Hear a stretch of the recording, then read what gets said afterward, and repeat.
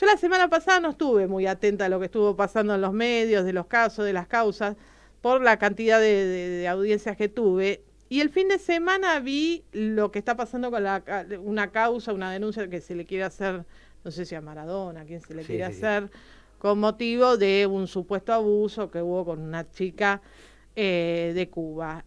Toco este tema con mucho respeto porque he visto cualquier cosa em, y por eso me parece muy apropiado que usted con su experiencia eh, nos comente cómo tienen que comportarse los abogados que he visto barbaridades.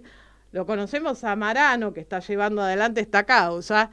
Y el fin de semana he visto que otros abogados ¿Qué les pasa?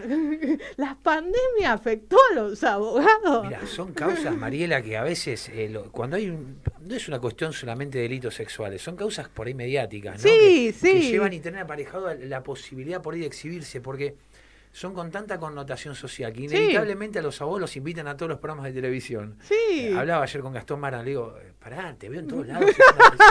No pará de verlo. Con Patrino, que esto, que Donaldo Canales era una locura. Entonces, eh, eh, son este tipo, son casos que tienen mucha repercusión, no solamente por, por, por lo que se trata en sí, el hecho, que viene una situación muy delicada, hace tiempo se viene tratando, sino que además, bueno, el hecho de este Maradona en el medio y todo un círculo que viene siendo observado de hace tantos años y nunca nadie se animó a dar el puntapié inicial, por lo menos para realizar una investigación o indagar de qué se trata todo esto. Hace muchísimos años, doctor, que se está hablando de este tema, pero bueno, eso lo va a decir la justicia. lo que a mí me llama la atención, la agresión que hay entre los abogados que se dicen cualquier cosa, y más cuando estamos hablando de delitos, la verdad que serios. Eh, y hoy en un cambio, ojalá que alguna vez haya un cambio en cuanto al respeto que nos tenemos que tener entre todos, que no lo, que no lo hay, porque lo veo en los medios de comunicación y lo veo en tribunales. Después eso lo vamos a ir hablando. Eh, ¿Cómo se, una vez ya lo, hablamos con usted este tema, ¿cómo tiene que comportarse el abogado cuando tiene una causa, ya sea una defensa en un delito sexual? ¿Y cómo tiene que comportarse ante los medios de comunicación? ¿Se acuerda que el año pasado, no sé si fue, que fue una chica que fue a pedir trabajo? Eh, y la abusaron y que el abogado, el defensor salió a decir cualquier cosa a la chica y usted me, lo había comentado, que no era la manera. Es más, habíamos estado, recuerdo, en, televisión en esa fecha, me habían hecho esa pregunta, digo, pero ¿por qué el abogado te le a ver, hay una cuestión que vamos a tratar de separar lo que es la realidad, que eh, muchos de los abogados que toman ese tipo de causas lo hacen por una cuestión de exposición pública, a veces con honorarios irrisorios o a veces sin cobrar honorarios, pero les sirve la repercusión pública o el marketing para la profesión, es lo que hacen normalmente. Se observa constantemente eso. ¿Pero sirve eso? Ah, a ver, vamos a... Ahora viene el otro tema, claro. Ahora viene otro tema concreto, ¿sí? Que eh, cómo el abogado se expresa y lleva adelante eh, su, su, connotación televisiva y social respecto a un tema tan delicado como, como el tema de delitos sexuales. A ver, normalmente eh, el abogado tenemos que diferenciar una causa, una causa en la cual está implicado situación particular de Maradona, una causa como la que vos habías comentado recién del el año pasado, una chica que había ido a buscar trabajo y había sido acosada sexualmente y ciertas situaciones bastante complicadas. Entonces, normalmente se dan dos cuestiones en ese tipo de causas que vemos diariamente por violencia de género o delitos de abusos y demás cuestiones, los abogados suelen quedar, quedar expuestos a, a veces a, esa necesidad tan, tan grande de tener marketing que finalmente como tienen que hablar concretamente sobre el caso, sobre cuestiones técnicas, quedan muy expuestos que por ahí le falta cierto margen de conocimiento o tratamiento procesal en delitos sexuales. Mire, doctor, yo le pregunto esto porque esto después lamentablemente mm. uno no lo ve en tribunales. Perdón por el teléfono, ahora lo voy a achicar. Eh, en el caso de la causa hace menos de un mes que se resolvió por juicio por jurado, esta chica que fue abusada en un camping, la abogada de uno de los de los eh, de los imputados manifestó cómo él, rubio de ojos celestes, va a violarse a alguien. Mm. Él es lindo, no necesita violarse a alguien. Entonces, ¿qué, ¿qué es lo que está pasando? ¿Lo de la tele lo llevan a tribunales? Claro, es que yo siempre digo. No se comerán el personaje, doctor, ¿no? Porque realmente estoy viendo cada cosa. Yo te voy a decir algo, eso lo hablamos siempre con, mis colegas. Lo mismo pasa en el foro penal. El día que se oralice los procesos, se terminan los abogados penalistas. Porque se terminó la mentira. El día que se oralicen los procesos y se tenga que fundamentar oralmente ante un tribunal, ante un juzgado de garantías, un juzgado de instrucción, se terminan los abogados penalistas, porque no hay forma de poder dibujar lo que hoy en día apelaciones de prisiones preventivas copiando y pegando textos de, de, de, y demás. y no solamente en el foro penal, sino también en el civil. Obvio, claramente. Digo, con la oralidad se terminan los abogados penalistas. Y por otro lado, ahí se dan este tipo de situaciones. Quizás eh, expresiones que no, uno no puede creer. si hay algo que quedó hace 40 años atrás en el derecho, es esa teoría de, eh, como estrategia defensista, ¿no? De poner a la víctima en calidad de victimario. Eh, y de colocar a la situación de una persona abusada echándole la culpa, pues yo he escuchado esa vez de que ha habido, el caso que vos comentabas del año pasado, de que colocaron a la víctima que había provocado a la persona que había abusado sexualmente. Que, era una prostituta, que le pidió dinero. dinero claro. Em, y también está la sociedad, ¿no? Porque si nosotros analizamos, yo esta semana lo que vi el fin de semana propiamente dicho fue el caso este de la chica eh, cubana, lo digo con respeto, que nadie lo tome como que la estoy desmereciendo por decirlo de la chica cubana. Y después también vi el caso de mm, el hijo de Suar y de Araceli González. Si usted lee los comentarios en las redes sociales de los dos casos, usted se horroriza de lo lo que escribe la gente. Y hay una negación a decir, no, esto no pasó, es todo marketing, quieren dinero, quieren fama, quieren prensa, ¿qué es lo que le pasa a la gente también? ¿O es la sociedad que está así y que nos lleva a pensar de que un hecho no ocurrió o que siempre la culpa la tiene la víctima? Pero, vayamos con que, a ver, recién decía ese tema que la justicia tiene que investigar. Sí. Obviamente uno tiene una... una esa sensibilidad con un personaje como digo Armando Maradona, uno lo quiere futbolísticamente y demás, pero tengamos en cuenta también que se exhibieron cuestiones en, durante toda la vida de Diego Maradona, que en otro caso concreto no se lo habían perdonado, pero bajo ningún aspecto a ningún otro ser humano en el mundo. Esto es una foto con una menor, ciertas situaciones con periodistas, o esta mm. misma. ¿Vos te imaginás esta misma circunstancia, pero no en el ámbito de Maradona? pero yo creo que la sociedad lo, lo, destroza. Entonces, bueno, vamos al tema de D'Artés que se tuvo que ir El tema de D'Artés se tuvo que ir. los casos de D'Artés que hay hoy en día? Y a veces eh, hay muchas situaciones particulares que llevan, yo digo, a la sociedad a elegir con qué temas meterse y con quién no. Y cómo el fanatismo, como el fanatismo, como esta grieta que existe también en materia política hoy en día que vivimos en el país, llevan a que la gente tome ciertas, de ciertas formas hechos similares en hechos de corrupción, en hechos de abusos sexuales, en hechos de distintos tipos de cuestiones. Entonces, de acuerdo a lo que uno le conviene, a su convicción personal, y no se evalúe el hecho concreto. Y ahí están lo que hoy en día se están viviendo en las fiscalías y en los juzgados con este tipo de delitos sexuales.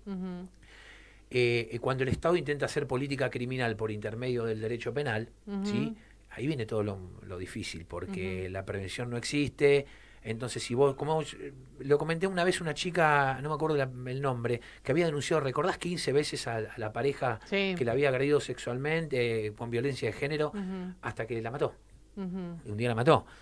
Y yo lo vi a Sergio Berni ese día en, en la comisaría hablando con la familia y manifestándole, bueno, vamos a estar con ustedes en el proceso hasta que esta persona le puedan dictar prisión perpetua. El hecho era claro que prisión perpetua iba a tener porque aparte lo había confesado. ¿Y qué hizo la prevención? Fue con el hecho consumado. Llevó a la chica a llevar el ataúd. Nunca estuvo en la prevención, en verificar si las comisarías elevan las causas a juicio. Si bueno, eso lo hablamos muchas veces en, en este programa de que eh, hemos hecho notas a jueces, a fiscales, a un montón de gente y todos nos dicen lo mismo. El derecho penal no es prevención. Es que utilizan el derecho penal para eso. Pero ¿por qué no es prevención el derecho penal? Porque si una persona va a hacer la denuncia una vez, dos veces, tres veces, cuatro veces, hay un montón de causas que lamentablemente se terminó con la muerte de la persona y había denuncias, había pruebas, a veces hasta ahí, pero millones de pruebas y no hay nadie que se caliente en decir, che, eh, vamos a meter, está bien, yo entiendo que a veces eh, la situación, con medidas cautelares, con, con, botones antipánico, a veces no se puede, a veces no hay eh, mecanismo para prevenirlo, no sé, a veces no... Pero vos sabés que a veces el Estado, con esa forma tan grande que tiene de prevenir para, para la sociedad, por el voto, por las elecciones y demás, se equivoca de tal forma. ¿Pero de qué se equivoca? Te veo algo que, que pocos lo hablan no hay nada más perjudicial para la víctima de un delito de abuso sexual y violencia de género que la insistencia en la revictimización en el juicio. Claro. ¿Sabes por qué, Mariela? Porque es tanto el criterio de revictimización que a veces no permiten que realmente se comprueben los hechos como fueron. Y llegan las causas a juicio orales con una sola declaración. Es decir, yo como abogado defensor digo, no, quiero que vuelva a declarar. El juzgado me dice en la fiscalía, no, mira, ya declaró. Lo estás revictimizando al menor de edad, en una cámara GESEL, a la víctima de un abuso sexual. No, ¿cómo va a declarar nuevamente? Y a veces esa falta del control probatorio a una defensa en juicio oral. Sí, yo lo escuché. le viene, ¿no? Sí. Con Paulo estuvimos en un juicio oral el otro día. No fue de género, pero me insistieron no la victimización. Y no me dejaron controlar la prueba volviendo a citar a las víctimas. ¿Sé lo que pasó en juicio oral? Claro. en 32 segundos me duró el juicio. Lo ganamos de punta a punta. Pero claro. Pero porque a veces eh, eh, es tan fácil los argumentos de prisiones preventivas que tienen en la instrucción los jueces o dejar detenido a la persona que se olvidan de investigar. Y la causa, vos no te olvides que en un momento llegan a juicio. Claro, y bueno, todos los abogados penalistas dicen lo mismo. Se ve la verdad en el juicio oral. pero cambia tan rotundamente. Cambia rotundamente. Pero no te puedes imaginar. Sí, yo, a veces digo, pero ¿cómo lo dio vuelta? Por Dios, porque uno ve todo negro ahí, ¿eh? Mira, ahora en tema de la pandemia, eh, ¿qué nos pasó en un debate oral y público? Llegamos al juicio y, y va a la víctima, la interrogo. Le digo, pero usted dijo esto en la instrucción, pues no se puede incorporar por lectura, pero cuando hay contradicciones se incorpora eh, para marcar la contradicción. Y le digo, pero usted tuvo muchos inconvenientes en... Eh, hay, contradicciones. Y yo, no, yo le voy a aclarar algo, doctor. La instrucción se llevó durante la pandemia. ¿Y cómo le tomaron la declaración, señora? Me llamó la fiscal por teléfono y me hizo unas preguntas y ahí es lo que está en el acta, pero así yo no dije eso. ¿Y dónde está usted mientras habla con.? Está en el supermercado, con el ah. changuito, y me llamó, y tuve que declarar ahí una causa que tengo una persona detenida. Y usted dijo, yo no. Eh, a ver, usted me yo en los alegatos dije, o sea, mientras la víctima estaba poniendo sachet de leches en el canasto, o estaba comprando verduras, la fiscal le tomó declaración testimonial que sirvió para dejar al imputado detenido y para llegar al juicio así. Claro, me hizo un festín en el debate con el, la víctima. Entonces, vos fíjate cosas que nadie conoce, pero que ocurren todo el tiempo. No, la verdad que es, terrible, es terrible porque también está eso, pero yo lo que voy puntualmente es la manera de hablar. La manera de expresarse en un medio de comunicación, yo lo vi lo del otro día, lo de Marano, y no me parece correcto eso de decir el abogado, mire, si a usted le da los delitos que usted está requiriendo, yo quemo la matrícula en vivo.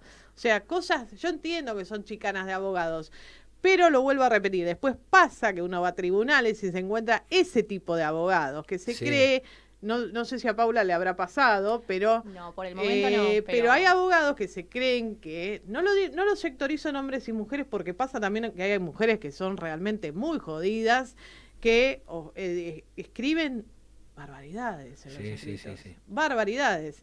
Yo, ahora que soy grande, no me caliento, los mando a donde hay que mandarlo, denuncia donde corresponde, requerir las sanciones que corresponde. Antes sí se las contestaba, ahora no, ahora ya, ya soy grande. ¿Qué, me queda a mí? ya, soy ya, ya no. Pero me llama la atención porque antes era que a uno le pasaba una vez cada tanto y ahora lo veo muy frecuentemente nivel de violencia que se manifiestan. Yo entiendo que a veces cuando uno no tiene nada o no tiene cómo sostener una causa, lo más fácil es pegarle al, al otro lado. Pero se presta mucho los juzgados en eso también. Vos sabés que, yo creo que vos sabés que el otro día presentamos un escrito en, en un juzgado y en un tribunal oral en el cual digo, interpuse un recurso de apelación y no me lo proveía, ¿no? Me fijan fecha de juicio oral, por insistí con el escrito, le digo, pero mirá, la verdad que no me estás proveyendo absolutamente nada, le digo un escrito fuerte jurídicamente, bien fundamentado.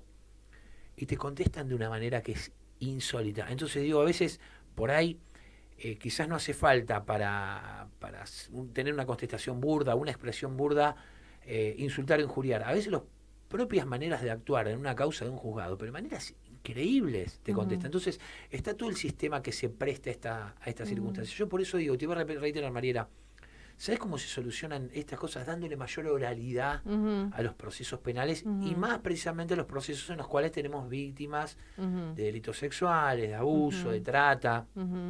Eh, la oralidad soluciona muchas cuestiones porque la inmediatez que tenés ante el juez, ¿sí? En la propia oralidad, justamente el juicio oral se trata de eso, la inmediatez en el testimonio.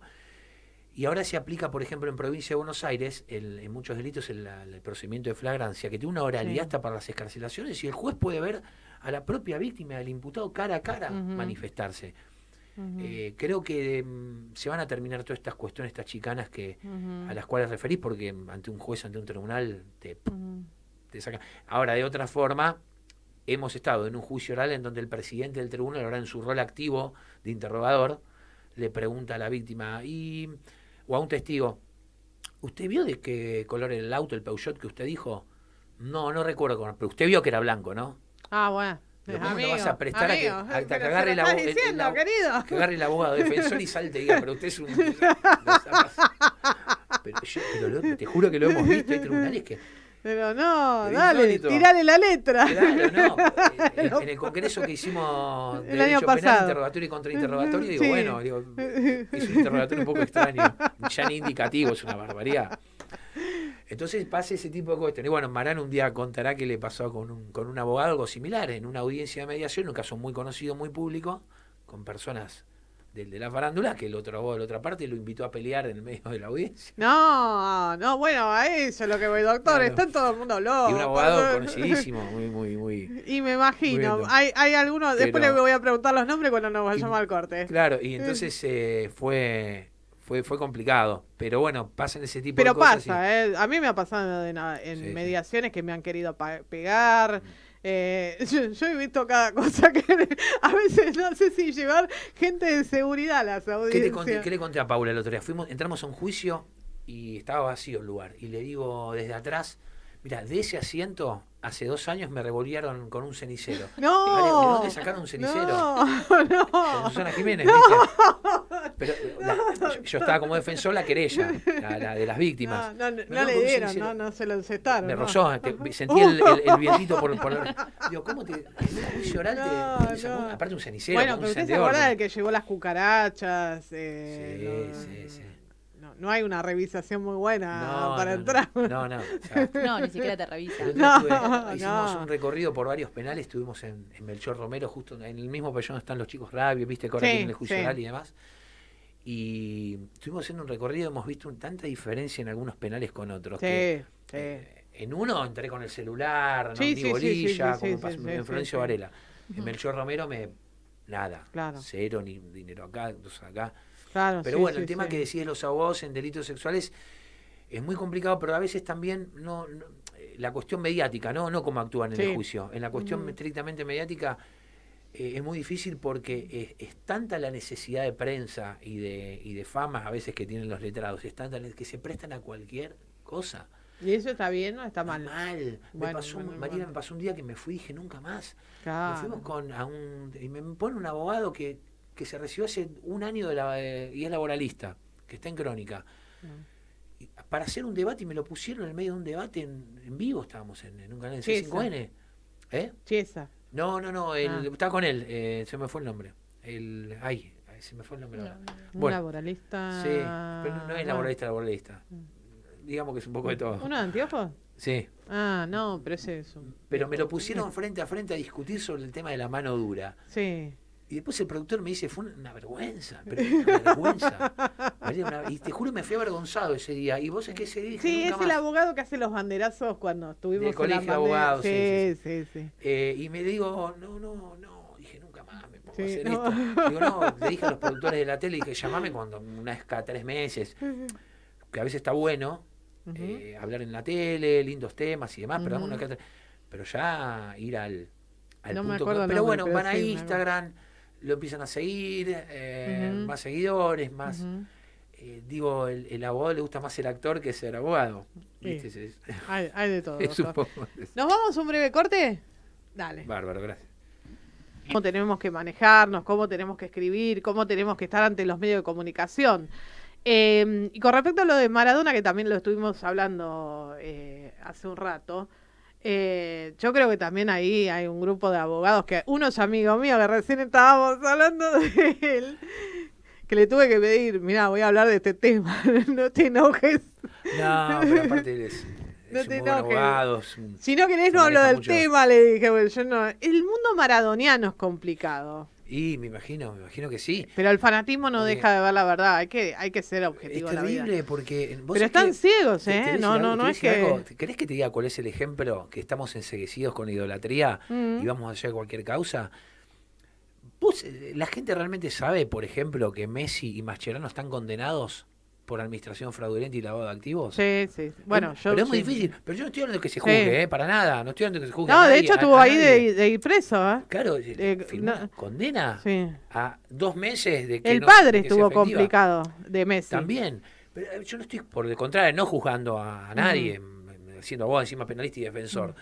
Pero a lo que voy es como en una circunstancia particular es, bueno, es un casito que pasó de largo. Sí, pero mirá que lo, lo, imputaron por, lo condenaron porque había cuatro palitos verdes y de euros que no pagó.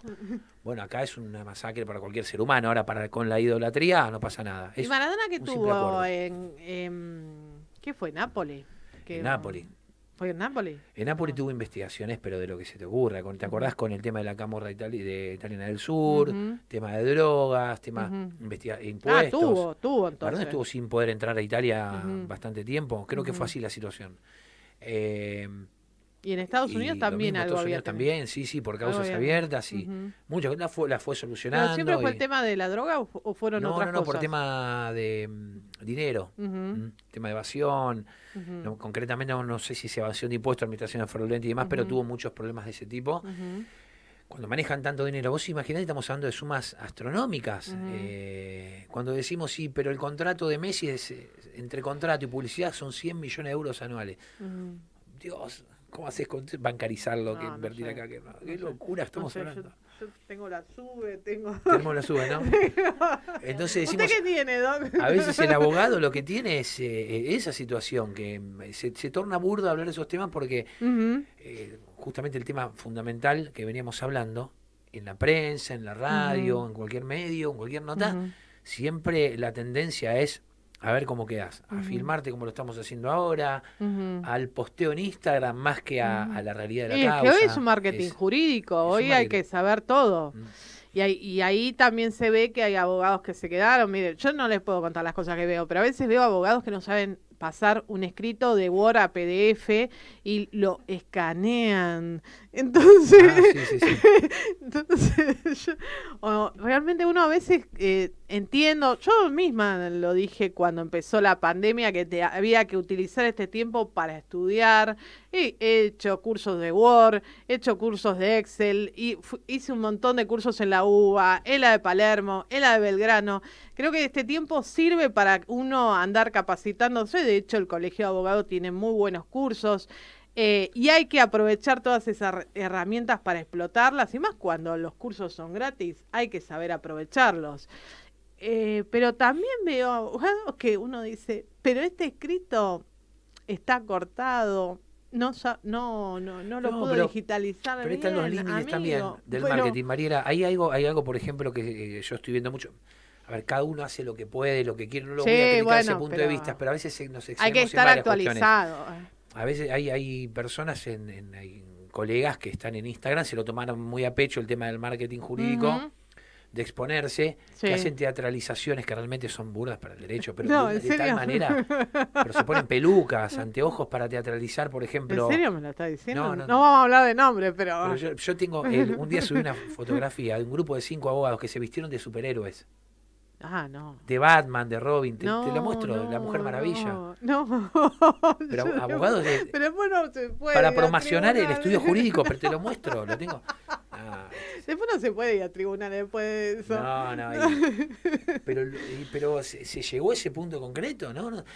Eso lo burdo por un lado. Y por lo otro, ante cualquier mínima opinión jurídica sobre un tema, por ejemplo, de abuso, las peleas y las disputas, pero con odio, en distintos puntos de vista. Ahora, usted con Paula, ¿no? Que, que ella está trabajando en estudio, ¿ella ya está recibida? No, me falta un año y medio, dos. Sí. ¿Y Paula cuándo empezó a trabajar en el estudio? ¿Hace un año? Cumple un año ahora. Ahora, a fin de octubre cumplimos un año trabajando. ¿Qué es lo primero que le dice cuando agarran o, tienen este tipo de causas, de defensas? cómo tienen que, cómo, qué es lo que le, las herramientas que le transmite a Paula, cómo van a abordar esta causa. Claro. ¿Qué es lo que le dice a Paula? Mira, vamos a llevar adelante este expediente, porque a veces inclusive para las mujeres, me ha pasado cuando trabajaban en un estudio penalista que me decían, a vos te choca agarrar una causa por abuso sexual. no, le dije, dame lo que, dame lo que quieras. Inclusive para uno que recién ingresa es eh, es la carta de presentación ante el jefe de uno. A ver, ¿qué es lo que usted le transmite a Paula? Mira, eh, cuando, cuando tienen que ir a un juicio oral, cuando tienen que llevar siempre, Uno siempre lo primero que, manifiesta y, lo que trata de enseñarle, como lo hago, como lo hice con el primer momento, es como en la vida, como en el trabajo, nunca improvisar. ¿sí? Y en el derecho penal la improvisación es lo que yo creo que es el mayor, lo que reviste mayor gravedad hoy en día en los colegas eh, se dedican al derecho penal es la improvisación que tienen. Y, esa improvisación trae aparejado muchísimos inconvenientes que después no saben cómo sacárselo encima. ¿Y qué nos pasa en los delitos sexuales que hablamos recién? Generalmente uno dice, ¿hasta qué punto agarras una causa, una defensa en un delito sexual fuerte con un menor de edad o que una persona, una mujer? Sí. Yo te voy a decir, ¿sabes lo que ocurre muchas veces? Mirate hasta dónde es muy difícil analizarlo. A mí me ha pasado, como le ha pasado a muchos colegas, que muchos delitos sexuales, cuando vienen ya eh, previstos, digamos, con una algo preexistente, con una maniobra anterior, sin un abuso sexual ya maquinado con anterioridad en forma persistente, ocurren que se descubren a posteriori, es decir, y más si hay menores. Vos sabés la cantidad de casos que en las mismas cámaras GESEL surgen que habían sido abusados sexualmente o con acceso carnal. Me ha pasado una causa que una persona me contrata por amenazas de la mujer, eh, que tiene una hija, amenazas y violencia verbal y demás. Digo, bueno, sí, fuimos a la, justicia de ciudad. Se le ocurrió al juez hacer una cámara GESEL porque tiene la costumbre ese juez de hacer cámara GESEL y tener el testimonio sí o sí del menor de edad, más allá de lo que dice la madre. Y estaba en la cámara GESEL sentado de esta manera, con un vidrio de la misma manera, forma, y comenzó a contar la nena como el, el, padre, el padrastro fue, sí, el marido de la mujer, había violado a ella cuando tenía 7, 8, 9 y 10 Ay, Qué horrible. En la misma cámara GESEL te enterás. Ahora, viene el cliente, ya le cobraste con anterioridad los honorarios, te pagó por las amenazas, por lo que fuere.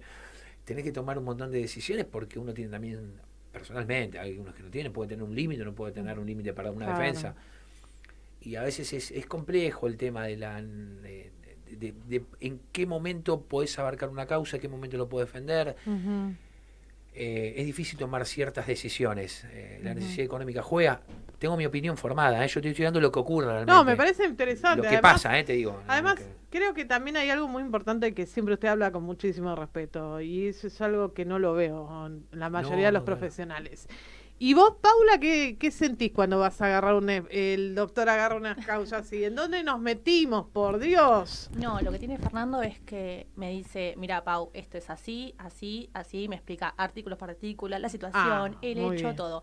Lo que sí me dice, o me trata de implementar mucho, es que no sienta tanto, o sea, que estamos en esta causa para resolver, para hablar y para estar, que no, que no trate de vincularme mucho con la gente, porque es, llega un punto que llego a mi casa y es como, qué hijo de... No, eh, es que yo lo digo siempre. y, hace muchos años que digo, qué hijo de... Claro, entonces él trata siempre de, bueno, tranquila, capaz que yo lo hablo con él porque es mi jefe. Es un buen ejemplo, es, es, un, es muy importante lo que te está diciendo porque eso sirve para que uno Porque el día de mañana me va a servir, obvio. lógicamente. Sí, sí, siempre. que no te afecte. Claro, pero bueno, nosotros más nosotras siendo mujeres, es algo que si leemos algo de un abuso, ya sea de un menor o hacia una mujer, nosotros tenemos un par de causas de tratas y fuimos a un par de cámaras y te, llega, te llega, te llega el comentario, te llega lo que hizo o la manera en que la llamaron, te llama y te da, y uno tiene que saber diferenciar. Yo recién tengo 23 años y es como, me falta muchísimo, pero trato de, separar mis cosas con los, los clientes, pero es difícil. Es, difícil. o sea, que a mí todavía me cuesta y, hace muchos años, no voy a decir la edad que tengo, pero bueno. Eh, y, y, cuesta mucho a veces separar, porque uno siempre dice, pero ¿cómo puede ser que haya pasado eso. Ubiquemos bien el teléfono que se va a caer. Ahí está, ahí está. Eh, se ve bien el teléfono ese. Estamos, estamos en radio, hacemos vivo, hacemos todo acá. Acá es todo, todo, por, todo por uno. Todo por uno. Em, no, a veces es muy difícil separarlo. ¿Y usted cómo puede separarlo? Porque usted tiene una familia, me imagino que cuando escucha algunas cosas usted se debe acordar, incluso, va, por lo menos me pasa a mí, que yo siempre me acuerdo de mi familia. Y es difícil, es muy complicado. Eh, a veces uno dentro de lo que es lo profesional... A ver, la defensa de los clientes, a mí me, ha dicho un, un, un, colega muy, muy conocido, uno de los, para mí, de los mejores abogados del país. Eh, tengo una amistad con él y me ha, me ha dicho siempre, dice, eh, no defender delitos de sexuales o delitos de abusos sexuales, un término muy tumbero decir que no, ¿no? Es como entrar a la cárcel y decir, ah, este es ah, violín, no, este es violín, no, este violín, no, no seas tumbero, vos sos abogado, tenés que ejercer las defensas. Vos no estás violando ni abusando a nadie. A veces eh, son ciertas garantías constitucionales, garantías del debido proceso. Yo por sí, de todas maneras uno tiene que tener Tiene que tener, claro, claro. Igual, igual, ¿sabes qué pasa? Yo lo respeto, yo lo respeto. Pasa? Hay ciertas experiencias que te fueron llevando a defensas porque las injusticias que hemos visto, Mariela, con prisiones preventivas insólitas, que no, se nos han quebrado en juicio oral, manifestando que el hecho no había sido como le habían denunciado. Y por la por ejercer política criminal por intermedio del Estado. La Convención de Belén do Pará ¿sí? es, una, la, es la convención, en, digamos, por excelencia eh, de la protección de la mujer, es una convención incorporada al artículo 65, inciso 22, en el año 94. Eh, estamos hablando de un tratado internacional de derechos humanos. Y es la, la, protección integral, no es el estatuto constitucional de protección contra la mujer, después han surgido muchas leyes, y hoy ver cómo muchos jueces y fiscales aplican la Convención de Belén para condenar y no para proteger a la mujer, vas a un delito de trata, un juicio oral. Las víctimas del delito de trata, el día del juicio oral no tenían ni idea de juzgar dónde estaban ubicadas. Entonces, ¿dónde está la ley de protección a la víctima? ¿Qué quiere decir esto? La ley de protección a la víctima es para condenar, pero no para proteger a la víctima. No las pueden ubicar. Claro las víctimas de abuso de delitos sexuales, llega un momento, pasa un tiempo, que les, ofrecen tratamiento psicológico, eso no existe. Entonces hay un, hay un tema bastante complicado también desde ese punto de vista. Y bueno, nosotros acá sí siempre tratamos el tema de que eh, un proceso es largo, a las víctimas hay que explicarles lo que es un proceso, a lo que se someten. Mucho tuvo que ver también con el tema de esta pobre chica de del caso del abuso del camping, que, lo, mm. que el jurado de enjuiciamiento los declaró a todos culpables, eh, donde también ahí volvemos al tema de que se habló que la chica prestó consentimiento con 14 años con siete sujetos, o sea, una cosa eh, descabellada. Eh, los comentarios de la abogada, que yo recién lo dije, este chico es rubio de ojos celeste, no tiene necesidad de violarse a nadie. Entonces, realmente yo creo que eso es lo que un poco fue la idea de, invitarlo a hablar de, estos temas, porque es, es duro. A veces eh, usted hace defensa, me parece perfecto. Yo respeto mucho a los abogados que hacen defensa porque digo, ¿cómo hará? Pues yo siempre estoy del otro lado. Pero yo, también, le, he preguntado a colegas y amigos míos, le dije, che, mira que esto es una deuda de un alquiler, ¿vas a embargar a esta persona? ¿Le vas a sacar la casa? Porque, bueno, eso no, no, Bueno, pero a ver, yo siempre. Eh, ah, ah, ahí me estás tirando. ahí me la diste. Bueno, siempre trato de buscar eh, remedios para no llegar a esa situación. Pero hoy también la gente está muy jodida y a veces se llega a eso porque la gente no recibe notificaciones, no quiere recibir cartas, documentos. Eh, llegás con el oficial notificador de tirar la puerta a la cara o dicen que no son ellos. Eh, no, no pasa solamente, eh, pasa hasta con escribanos que uno manda notificaciones y dicen que no están ahí, llamás al colegio de escribanos, dicen que están ahí. Entonces, realmente se llega a una situación extrema porque la gente quiere llegar a esa situación. Porque yo creo que si cada uno estuviera derecho en un proceso o en una mediación o lo que fuere, no se llegarían a esas situaciones. Yo creo que hoy se puede... La, ley, la mediación es bárbara, pero si las dos partes están dispuestas a mediar. Bueno, pero eh, yo lo que te digo, la poca experiencia que tengo en ese foro también, es lo que veo. A veces las, las mediaciones, tenemos una abogada civilista en el estudio, y llegan y de paso la saludamos a Agostina por si no ve. Eh, llegamos a mm, van las mediaciones y la mediadora está en un lado, bien la secretaria, ah, firmame el acta. Claro, algunos van a. Este, no, la, la, idea, mira, me parece que, me, perdón por, por tutearlo, em, la mediación es bárbara cuando se utiliza como una herramienta. Las dos partes van a tener que ceder. Las dos partes van a. Ahora, si vas, vamos a juicio. No, no sirve. Así no, sirve la mediación. Yo creo que la mediación es bárbara. Bueno, lleguemos a un acuerdo. Querés homologarlo en tribunales, lo que vos quieras. Eh, pero también está la otra situación. La gente, lamentablemente, yo no, no sé si, si es de ahora o siempre fue así, eh, la gente hoy no asume las consecuencias de sus actos. Claro. Lo que pasa es que también tenés, por, lo, por lo que veo, muchas veces los demandados, que terminan siendo corporaciones, empresas como una compañía de seguro en un caso de daños y perjuicios, ¿sí? una compañía. En un, y, y, realmente yo me pongo en lugar de los abogados. Ahí me pongo, pero te juro que no sabes lo que es. Y veo que les hacen ofrecimientos tan malos, tan bajos, hacen cualquier cosa. ¿Qué le pasó? Y se fracturó las dos piernas, TV peroné expuesta, 150 mil pesos. Claro. Yo, cosas que realmente me pongo en lugar. Yo digo, el abogado civilista eh, pasa por muchas cuestiones también. El día sí, también. En caso fuerte, si abogado laboralista, claro. lo mismo. Lo de familia también. Acá hemos tenido gente que, que, lo de familia es muy, muy jodido. las causas de familia, de hecho, yo cuando muchas veces iba a la cámara, que, que lo citan temprano, siempre digo, no puede ser que los cites a las 7 de la mañana, van con los hijos, están ahí esperando horas. Yo lo dije siempre. En las dale, no lo hagas esperar. Encima las, partes se miran que se clavan los cuchillos a la distancia. En las cámaras GESEL, yo digo, ¿ve dónde está la prevención a lo que me refiero? Si vos tenés un menor abusado o que lo van a, tiene que testificar mediante la modalidad de cámara GESEL, bueno, venga a las siete y media de la mañana, llega a tribunales, son las 4 de la tarde y no lo atendieron. No, la, mujer no tiene, la mujer no tiene medios, la madre no tiene medios para comprarle una coca, un sándwich en el medio. Dice, ese es un gastadero de plata y encima que es víctima, eso es revictimizar. Eh, yo considero lo mismo. Claro, yo considero dar un testimonio más o menos.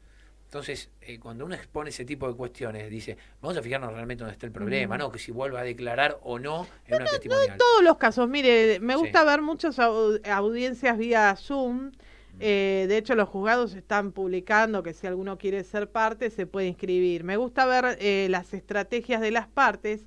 En una de esas que vi de, abuso, de violencia de, género, un montón de cosas más había ahí. Em, la víctima declaró, pero ¿sabe quién estuvo floja? La abogada defensora.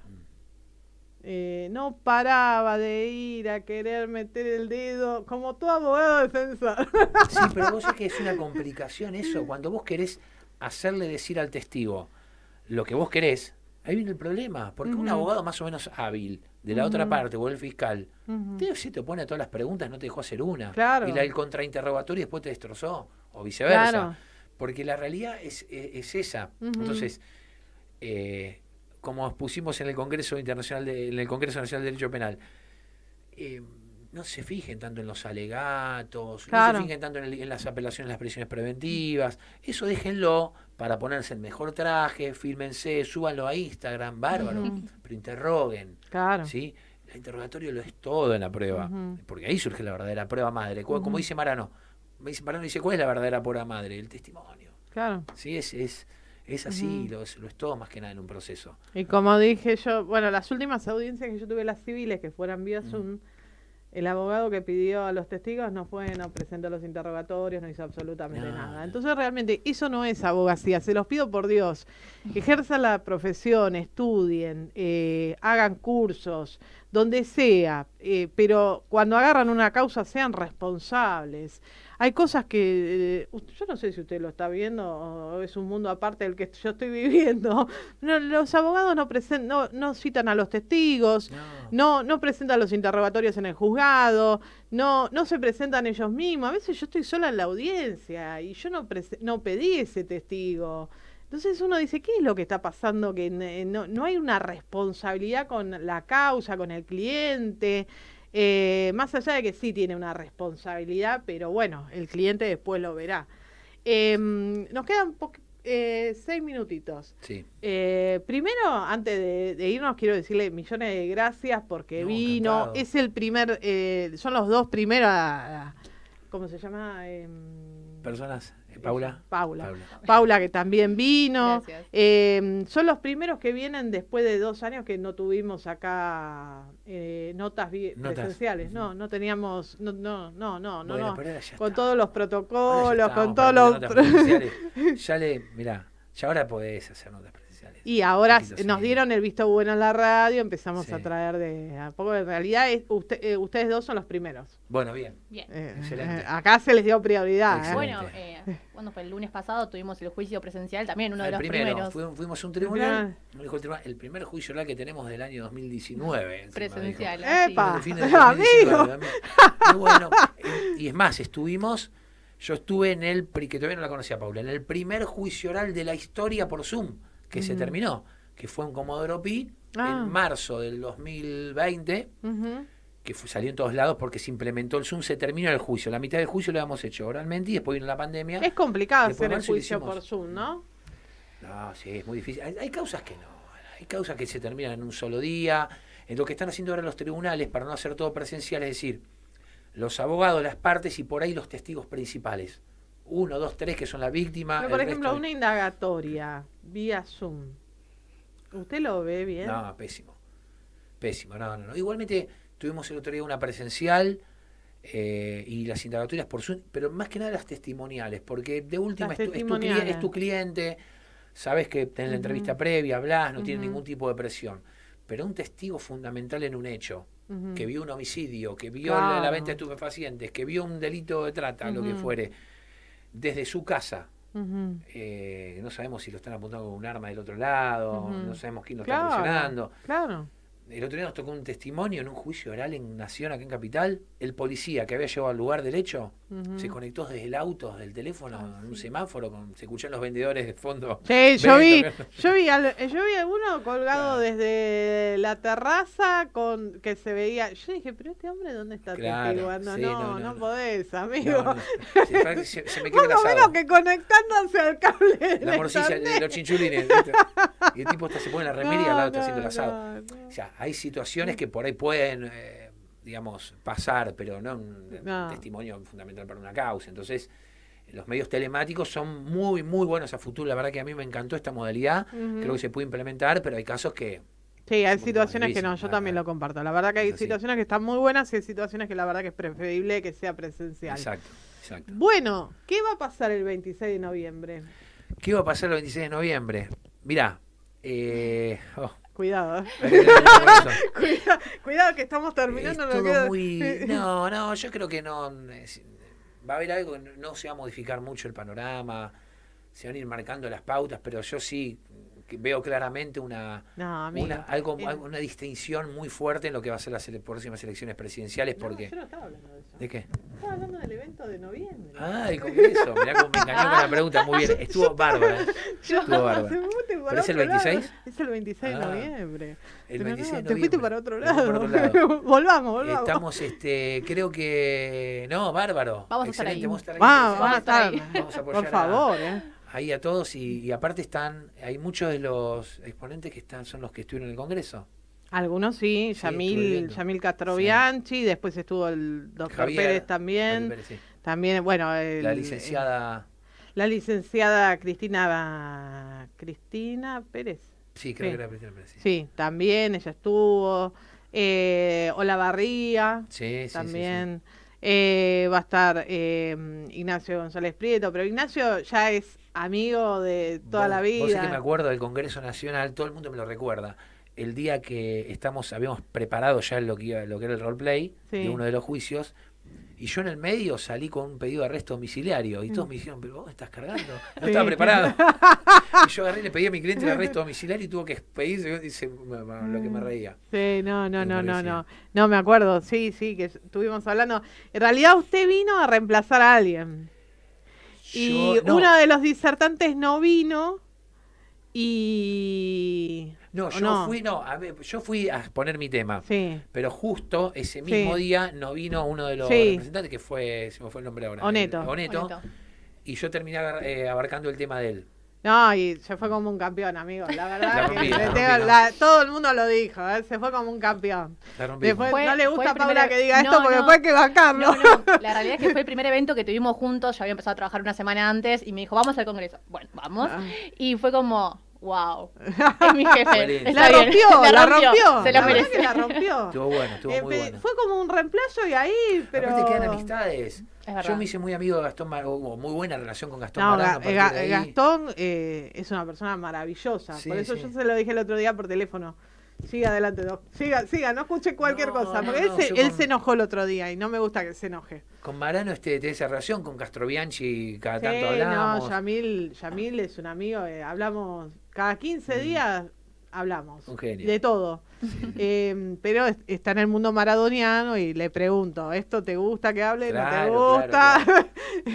sí, sí, sí. Y después con Cristina también. Cristina es una mujer, pero que lleva adelante juicios, que va, que viene, que haciendo pericia, la verdad es, es maravilloso el conocimiento que tiene, la verdad que me encanta.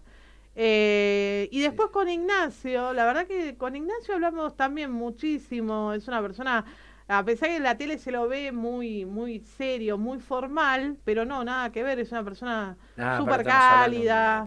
hace muchos años. Es fenomenal lo que hace y, además muy querido. Además, él, es muy de, de ayudar a las víctimas. Claro muchísimo ayudar a las víctimas, a estar siempre ahí, si necesitan. Ya terminamos, ¿eh? Sí, ya sé que me pasé. Em, perdón que me pasé.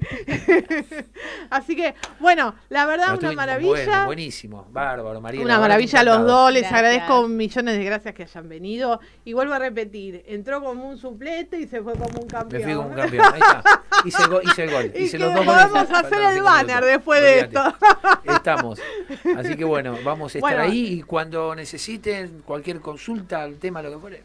¿La gente dónde, en qué redes lo puede ubicar? Y estoy ahora terminando debajo una, una, una página del, del, estudio, ahora vamos a hacer una nueva. Fer Herrera 77, arroba Fer Herrera 77. Fer Herrera. 77, sí, sí, sí, es la mía, así que ahí este charlamos. Vamos a volver a abrirla, vamos a volver a abrirla. Muy bien, muy bien. a veces me pasa que busco las redes sociales, ya termino, ¿eh? Y, mm, y, me dieron de baja las páginas web, ¿no? Publiquen las cosas. y tiene que publicar los perfiles en públicos, porque queríamos bajar las fotitos y no podíamos. No, pero ayer lo puse en privado porque me tuvo una situación de acoso. Bastante ah, fue complicada. No, no, no, bastante complicada. No, pero una persona que me empezó a mandar con perfiles falsos, cosas y le dije, voy a poner privada hasta que por lo menos sepa de dónde viene el tema. Están todos locos. no, pero le pasó un montón de gente, colegas, pero. Digo, ¿qué les pasa? No, no, es una cosa increíble. Bueno, la verdad me encanta que hayan venido los dos, lo disfruté muchísimo. Nos vamos a volver a reencontrar dentro de muy poco, seguramente vamos a hacer algún vivo, algo. Les deseo lo mejor. Muchísimas gracias, María. Gracias. Y nos reencontramos el martes que viene. Muchísimas gracias.